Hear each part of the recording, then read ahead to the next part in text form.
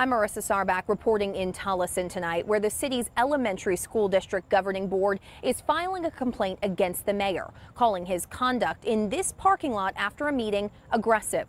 We're taking a look into their claims and reaching out to all sides involved.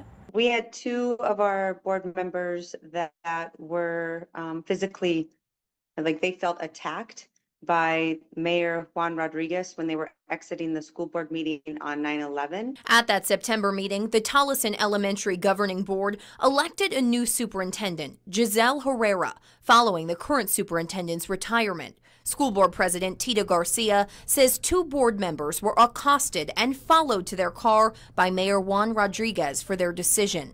This video shows Rodriguez and members of his family walking out of the boardroom. The district says their camera does not cover the parking lot area where the apparent encounter happened. She walked out of the school board meeting on 9/11. Uh, Mayor Juan Rodriguez physically and aggressively uh, went up to her, questioning her, cornering her, um, so much that she had said that she was scared. The board making the decision to file a complaint against the mayor with the city this week. We're volunteers. We're not there for any other political reason. This is a volunteer role.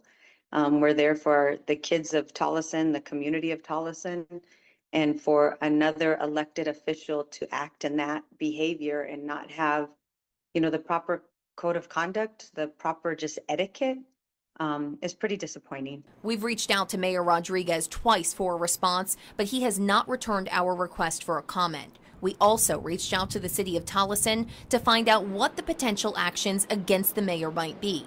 The city did not return our call, but the school board president says the city is investigating.